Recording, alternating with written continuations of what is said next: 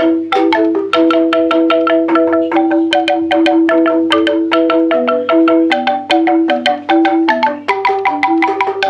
Quốc này à, cùng là một chiếc chế như nhau thôi nhưng người ta đánh dấu sự quyền bởi một cái dấu này. À, gọi người ta khuyết một lộ như thế này để đánh dấu sự quyền của người đạo quốc ạ. À, nhưng một điều rất là kỳ lạ khi người ta khuyết một lộ như vậy thì không làm cho cái chóe này nó vỡ ra mà nó vẫn giữ được cái hình dáng ban đầu như thế này. Đó là một điều rất là tâm linh của người đồng bào Ồ, đằng kia là tất cả các con cá mà trước đây thì mình có đi về vùng đất Thanh Hóa, huyện Cẩm Thủy của Thanh Hóa gọi là suối Cá Thần. Thì có một cái câu chuyện là nếu như mà những người mà đụng đến những cái con cá như thế này đó thì sẽ gặp những điều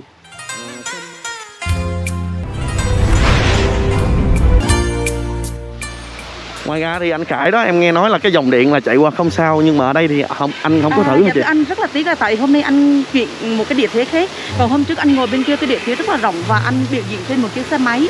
Và trên chiếc xe máy thì nguồn điện sẽ là 110V và anh sẽ dùng cơ thể mình trực tiếp va chạm vào cái nguồn điện đó nhưng không vấn đề gì. Và khi anh chăm cái nguồn điện vào cái lỗ tai hoặc là tóc của anh thôi hoặc da của anh thì sẽ phát ra dòng điện tách tách tiếng nổ của điện còn khi mà anh làm như vậy thì thật sự là du khách đứng rất là sợ nhưng mà nếu mình không đụng vào thì yên tâm hoàn toàn. Mình chỉ đứng xem thôi thì không sao. Nhưng mà khi mình đụng vào cái nguồn điện hoặc đụng vào có thể ảnh thì sẽ bị giật liền. Ờ. tại vì mình không có một cái nguồn năng lượng gì cả đúng không ạ? Đúng Rồi, rồi. anh. À, rất tiếc là hôm nay cái địa thế anh là thay đổi rồi cho nên anh không biểu diễn tiết mục đó được. À, em nghĩ là hôm sau thôi. Nếu mà anh có thời gian đến đây nữa thì chắc chắn là sẽ à, xem được cái tiết mục đó của anh À, như em vừa chia sẻ về nguồn nước khu du lịch lấy từ trên thượng nguồn à, trên cao về đây à, qua 5 ngàn mét ống dẫn nước mới dẫn nước về đây được và nguồn nước ở đây được lòng là phải trong và sạch.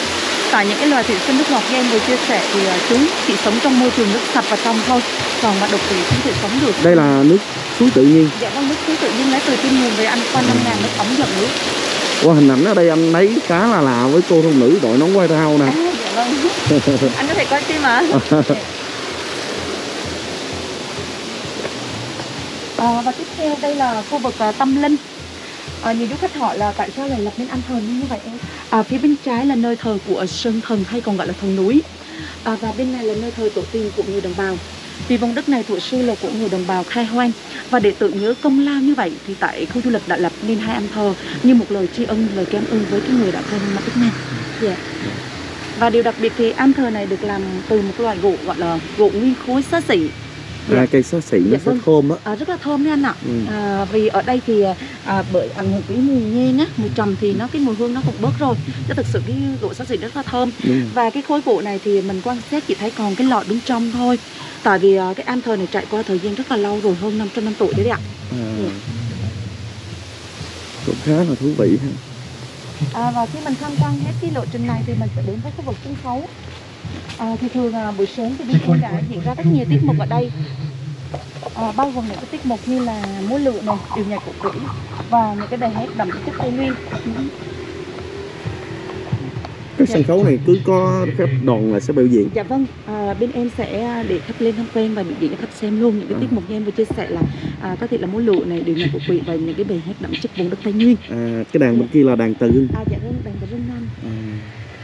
Đây là các à, bạn này là người dân tộc hết. Dạ đúng rồi, các bạn này là người dân tộc. Ra gai làm sao? Dạ, à, ở đây phần lớn là người Cà Ho sinh sống. Người cơ hôn. À. Một trong những cái hình ảnh mà khá là đặc trưng của dân tộc đó là những cái cây mà được điêu khắc như thế này nè. Và người dân tộc thì rất thích vẽ những cái nét hoa văn Dạ. mang một cái hình thù nó quái lạ so với người kinh của mình một ý nghĩa rất là lớn nha anh. Và nó bao gồm những cái um, cái gì? Thể hiện cuộc sống của người đồng bào. À, ví dụ như hoa văn à, thể hiện ở đồng ruộng. À, thể hiện con trâu con bò. Thì nó nằm trên những cái họa tiết hoa văn này. Và trước là đi qua quầy thổ cẩm thì à, trên đó rất nhiều những cái mặt hàng thổ cẩm của người đồng bào Cà Mau luôn. Ôi bạn này dễ thương quá. Mà để cho cái cây là nó việc Vậy khỏi xe mít luôn anh quay gần thì mình khỏi xe mít. Ừ. Chào em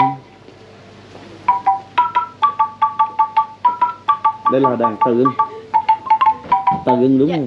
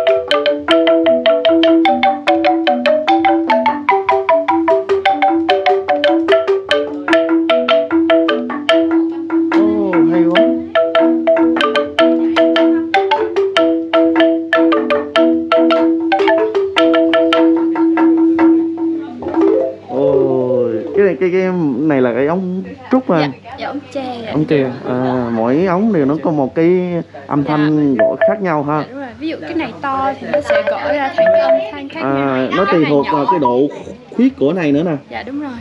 À, điệu vừa rồi em mới đang là điệu gì vậy? À, dạ điệu ờ, đi hái hoa rừng. Đi hái hoa rừng dạ. à, nói tiếng ờ, của tụi em là là chui piếp. À, à, em chơi này được lâu chưa?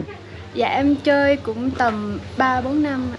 à, rất hay ha đây là một cái trong những cây cây đàn mà đặc trưng của người cờ ho. Dạ của à, anh chân thành cảm ơn em nhiều. Chúc em sức khỏe ha em cảm ơn. Em nhắc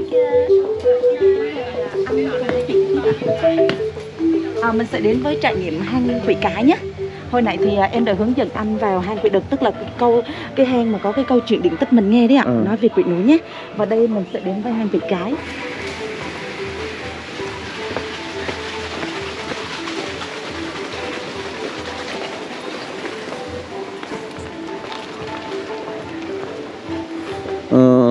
trong cái khu du lịch này nó vừa sinh thái vừa ma mị mà mang được một cái nét đặc trưng của người dân tộc à, dạ, vâng. Ờ, cộng thêm lại tìm những cái người tài gọi là quái nhân để phục vụ trong cái khu du lịch này Dạ vâng. À, dạ thưa anh, à, phía bên trên của hai ngôi nhà này là nơi trưng bày rất là nhiều đơn vị cổ vật, có tầm hơn 5 ngàn đơn vị cổ vật của người đồng bào thiểu số ở phía trên. à, Dạ. thôi bây giờ mấy anh em mình lên đó À, đi rồi, bây giờ em mời anh lấy này đi, À. hơn đi mình thì không phải là quay về du lịch nhưng mà mục đích chính là tìm anh Khải. Và hôm nay gặp được anh Khải rất vui vui. Cộng thêm lại những cái nét độc đáo của người dân tộc. Đặc biệt là người dân tộc cờ ho một trong những cái loại đàn đó là đàn tư và đây là một cái ngôi nhà cổ người dân tộc. À, mình không biết sao người dân tộc dân tộc thì rất thích vẽ những cái hình thù như thế này. Và cộng thêm màu màu đây là màu tối. Ờ, mình đánh trống chi vậy Đây là một cái hình thức của người đồng bào thiểu số thôi. À, bây giờ em mời anh vào tham quan ngôi nhà nơi trưng bày những cái cổ vật mang tính văn hóa đời sống đời thường nhé. à, Dạ. đồ gốm À dạ vâng, ở đây là những à, chiếc à, tô tiếng chén này. À, chén bếp này thì à, thực sự đã có từ rất lâu đời rồi. À, có những cái dòng chén tô từ thế kỷ 13, 17 và 19. Và điều đặc biệt thì à, trên những cái dòng chén tô này người ta làm thủ công hoàn toàn bằng tay. À, cho nên khi mà mình quan sát kỹ thì sẽ không có cái nào giống cái nào đâu ạ. Dạ. những cái họa tiết đẹp quá luôn nè Tại người ta làm toàn công bằng tay rất là kỹ xảo.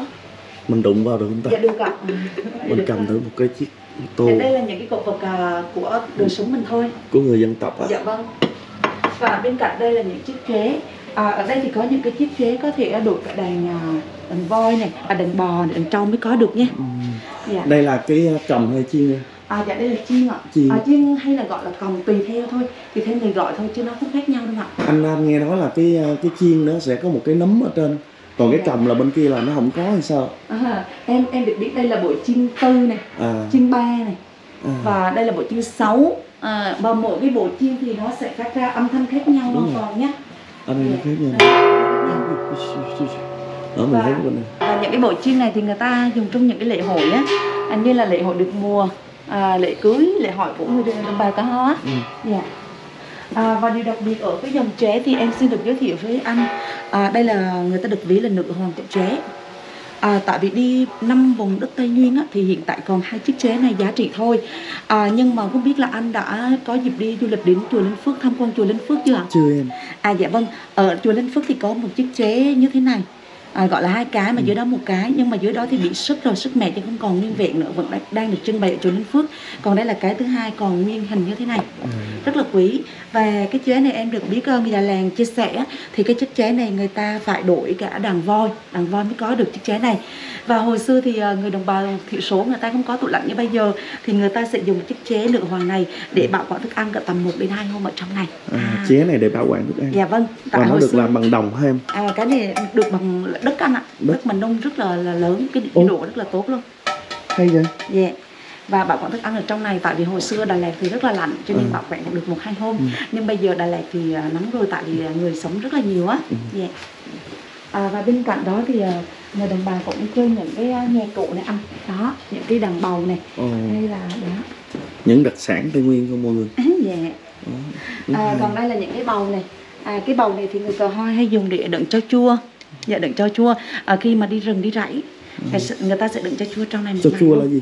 cháo chua là cái món thức ăn của người đồng bào cà ho dạ, hay gọi là đựng cháo chua ở trong bình á Người À. người cờ ho gần, gần đây nhiều không em? à, dạ, nhiều hầu như mảnh mảnh đất này là người cà ho nhiều lắm Ừ, dạ. Họ sống cộng đồng ha. dạ vâng bây giờ thì người kinh cũng sống xen lẫn luôn dạ. Nhưng mà người cờ ho ở nơi nào thì giữ được cái nét văn hóa riêng của họ. à, anh về à, lề à, à, anh về cái chỗ Lạc Dương á Lạp Dương ha. Lạc, Lạc Dương Lạc Dương. dạ Lạc Dương gần cái chỗ Lang Bay En á thì à, người ta vẫn còn mặc váy À, dạ thưa anh và bên này là nơi trưng bày những cái cổ vật mang tính văn hóa tâm linh à, tức là những cái cổ vật này là của người đã khuất à, thì à, để đánh dấu như vậy à, tại vì à, theo quan niệm của người đồng bào hồi xưa thì người ta sẽ chia của đều cho các con. À, bên kia là của người sống và bên này của người khuất này. Trời. à, cùng là một chiếc chén như nhau thôi nhưng người ta đánh dấu sự quyền bởi một cái dấu này. À, gọi người ta khuyết một lộ như thế này để đánh dấu sự quyền của người đã khuất ạ. À, nhưng một điều rất là kỳ lạ khi người ta khuyết một lộ như vậy thì không làm cho cái chóe này nó vỡ ra mà nó vẫn giữ được cái hình dáng ban đầu như thế này. Đó là một điều rất là tâm linh của người đồng bào và em được biết là những cái cổ vật này thì à, người ta thường chôn theo nấm mồ của người chết. Dạ. Nhưng mà tại sao ở đây lại có được? à, dạ thưa anh thì bên em phải xin và về đây bảo tồn luôn. Ừ. à, dạ. À, còn tiếp theo ạ à, xin được giới thiệu với anh đây là những cái vòng đeo cổ cũng như là những cái cà răng găng tay. Thường thì à, anh chắc cũng xem những cái bộ phim à, của người đồng bào rồi đúng không ạ? À, thường những cái phụ nữ hay đeo những cái vòng cổ này à, lúc đầu thì người ta sẽ đeo hai ba ngức thôi. Mục đích là sẽ nới cổ cao dần đó là một cái à, trang sức và kèm theo đó là cái nới cổ người cao lên lúc đầu thì người ta sẽ một hai vòng thôi nhưng mà đến dần dần người ta sẽ nâng lên cái vòng cổ này sẽ được nâng cao lên nữa Đó. Cái vòng này thì à, của người mất hay là của À, người đang dạ, đeo? của người đỡ khúc đang ạ À. tại vì khi mà phi kim thì nói chung là cổ vật bên này toàn là người đỡ khúc Ừ. à, và những cái vòng này khi mà đi phi kim thì có cả vàng thực trong đó À trong này có vàng luôn dạ ha. vâng và ngoài ra thì ờ, những người phụ nữ hay đeo những cái cái răng găng tay này anh. Ừ. đó đeo ở tay thằng lòng thế này nè. À, nhưng mà anh à, cái này là của người dân tộc cờ ho. à dạ vâng cả hơn ạ. À, nhưng mà ừm, hiện nay thì cái phong tục này họ còn giữ không? À, dạ em, em nghĩ là trong những lễ hội thì người ta vẫn còn giữ. Còn thường ngày thì em nghĩ chắc là họ cũng ừ, một phần nào rồi. Một phần Ừ. nào cởi bợ bỏ bớt. Nhưng mà khi là lệ lược á thì người ta vẫn sử dụng những cái um, trang sức này à, và bên cạnh đây là những cái um, gọi là những cái đồng xu. À, những cái đồng xu này thì như anh nhìn thì đã phong hóa rồi thì nó rất là lâu đời rồi. Hồi xưa thì em được biết người đồng bào người ta không biết sử dụng đồng xu đâu. Người ta chỉ mua hàng hóa và đổi thôi. Ví dụ đổi con gà con trâu con bò để lấy cái thóc cái lúa gì thôi đúng không ạ? Nhưng mà sau đó thì khi mà sự xâm nhập của người kinh vào đời sống của người cò ho người đồng bào thì lúc đó người ta mới biết sử dụng đồng xu này để giao thương này à, kinh tế với nhau. Dạ. chứ còn thực sự như cái thời đó thì chắc nghĩ là anh em mình chưa ra đời đâu nữa. Là người ta chỉ đổi ờ, trao đổi hàng hóa thôi. Ví dụ như Ừ, ừ. ờ, lấy cái thóc này thì cho con gà con bò gì đó. Dạ. À, để em tắt cái đèn này anh ra trước đi ạ. Ôi, nguyên một đàn cá trê toàn màu trắng không hả? Vâng, đây là hồ cá tê độc đàn. À, đây là một loài cá biến đây nhỉ? À, và thường thường thì là con đột biến từ một đến hai con thôi, chứ không có nhiều đâu. Ồ, cái tỷ lệ đột biến rất là thấp luôn. nhưng mà con cá nó cũng rất là to luôn. Dạ vâng, có những con rất là to trên 19 đến nào. Để mà bảo quản cho nó sống không phải là một chuyện đơn giản đâu. Dạ. Đây à, ở đây hầu như là mình nói có vài trăm ngàn con là chuyện bình thường luôn. Dạ vâng, đó những con đó rất là to. Rồi nó sống theo một cụm rồi. Ồ, đằng kia là tất cả các con cá mà trước đây thì mình có đi về vùng đất Thanh Hóa, huyện Cẩm Thủy của Thanh Hóa gọi là suối Cá Thần. Thì có một cái câu chuyện là nếu như mà những người mà đụng đến những cái con cá như thế này đó thì sẽ gặp những điều uh, không may uh, có thể là ảnh hưởng rất là nhiều trong cái cuộc sống của mình. Và hôm nay thì lại gặp ở đây. Không biết là ờ, cá ở ngoài kia thì được bảo vệ hay như thế nào. Nhưng mà cá ở đây thì uh, mình mình hỏi bạn này em ơi cá ở đây là nó ăn ăn dâu hay là ăn thịt em? Dạ cá này ăn dâu hay ăn thịt à, dạ em được biết thì người ta nói là cá này thì ăn à, rong dưa lá cây ạ. đúng rồi cá, cá này nó chỉ ăn dưa thôi biết đây được không ta? Ừ. đây mọi người. Đó đây có phải là cá thần mọi người thấy ở cẩm thủy không? Cũng khá là lạ ha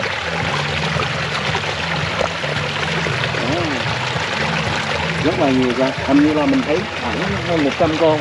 Và bạn này chia sẻ thì à, cái loài cá này đó nó được, được lấy từ suối cá thần ở cẩm thủy tề luôn. Đây rất là lớn. Ôi. Đó. đây nè mọi người. Rất là nhiều cá. Cái vây nó màu đỏ nó là một loài cá ở vùng đất thanh hóa luôn.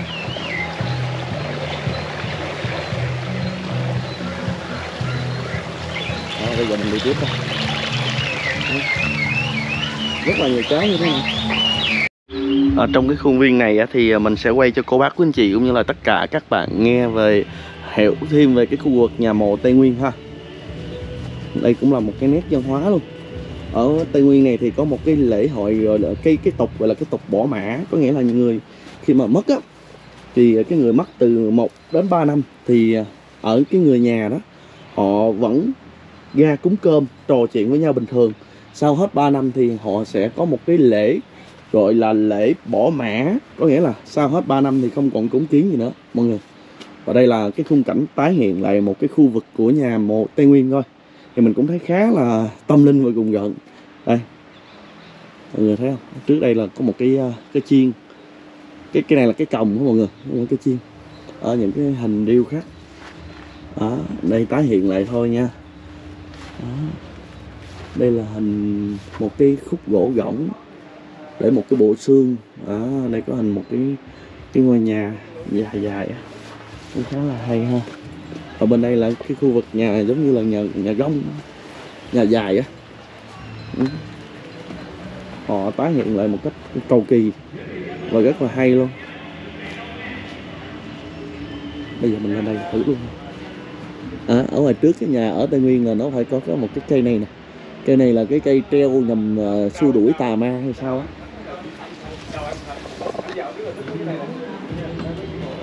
Ừ. Đây. À, đây là cái ờ, tái hiện lại cái khung cảnh của Tây Nguyên xưa. Ở đây là những cái bình rượu cần nè.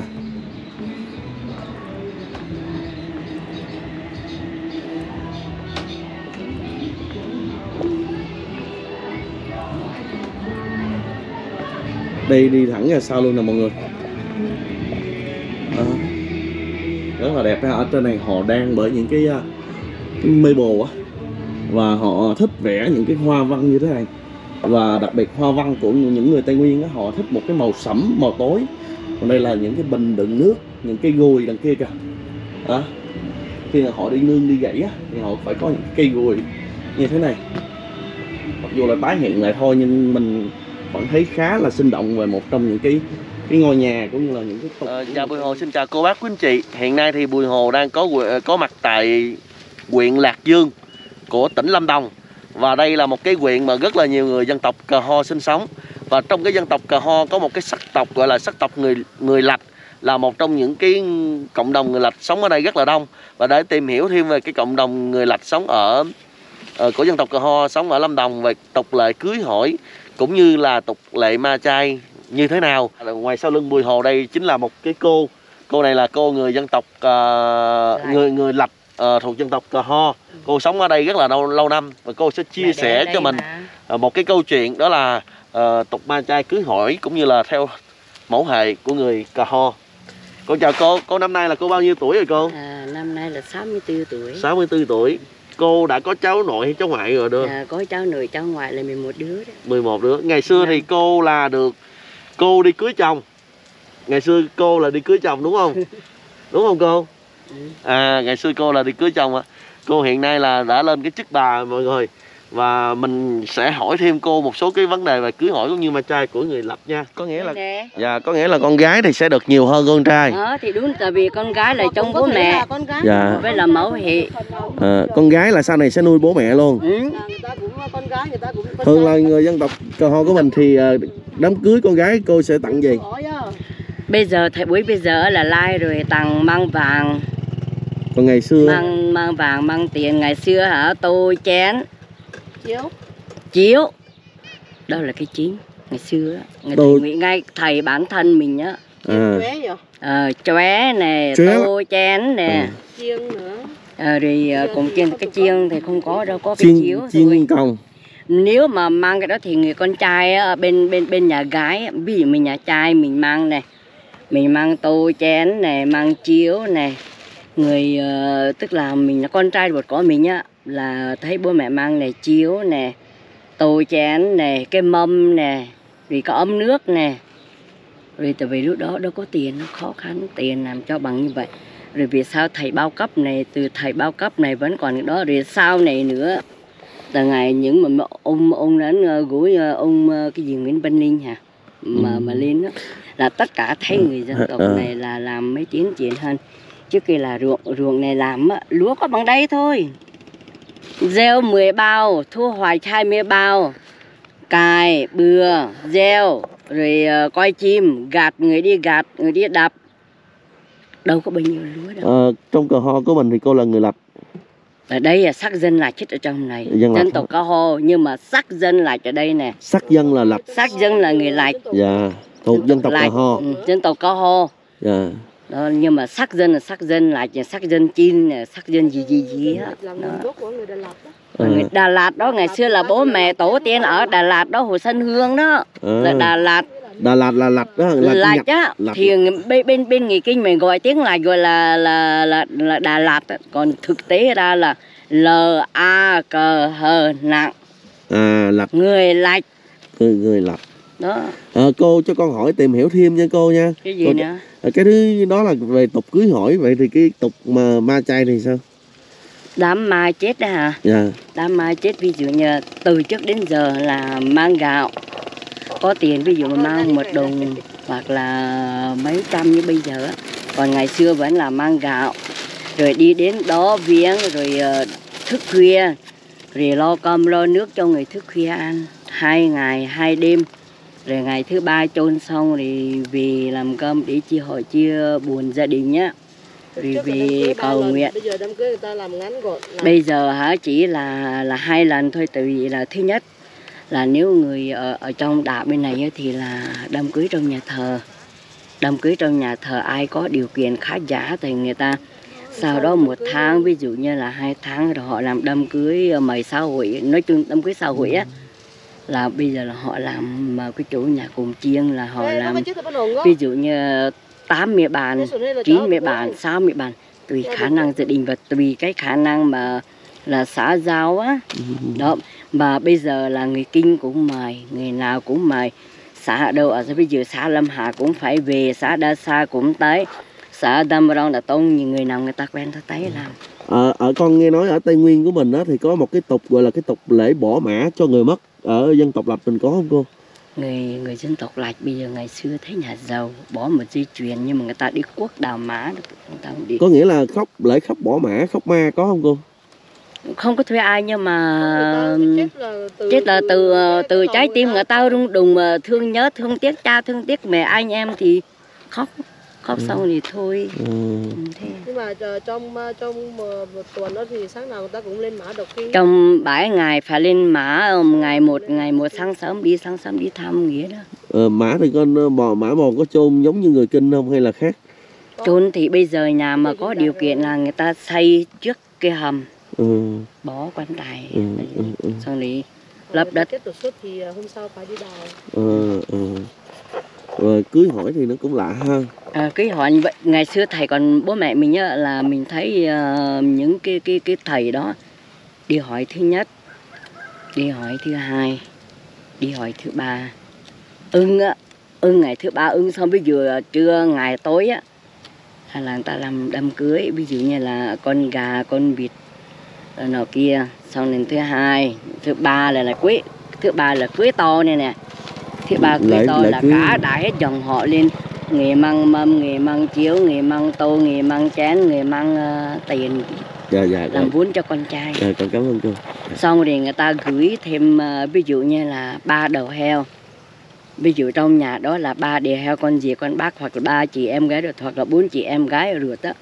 Ăn bốn bốn con bốn đầu heo là mỗi người mới phải gửi một con trâu Nhà- nhà. gái chỉ mất bốn con nhà heo, mình là năm nhà đứa con gái. là bốn con trâu. Ờ, con gái thì bốn con heo mà đàn trai mất bốn con trâu. nhà nhà gái á, dạ nhà, dạ gái. đã cho nhà trai nhà trai phải mang là ăn nhận bốn đầu heo phải bốn con trâu trị giá bằng tiền. Một chỉ vàng nữa. Một chỉ vàng. Bây giờ vẫn còn hả cô bây giờ thì mới thay đổi đó bây giờ là Ừ. như vậy. Giờ còn ngày xưa là tô chén nó kia Ừ. thôi cái chóe nó kia mang ừ. chiếu. Ừ. còn bây giờ hả? Người ta tạo điều kiện cho là tạo điều kiện cho nhà trai cho cho con trai mình về với nhà người ta đó. Ừ. bốn đầu heo bốn con trâu bốn chỉ vàng. Đó. Dạ, dạ. hiện hiện giờ đấy. Ừ. hiện giờ bây giờ là như vậy ạ. Thú vị khi mà cái khu du lịch này á vẫn còn ờ, giữ được một cái vẻ hoang sơ nét văn hóa của người dân tộc.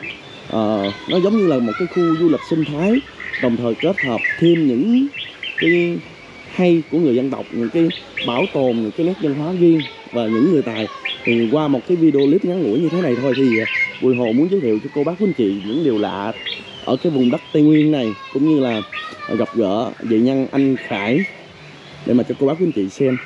Đừng quên đăng ký follow và chia sẻ cho mình. Và xin chào và hẹn gặp lại cô bác quý anh chị ở những chuỗi video clip sau ha.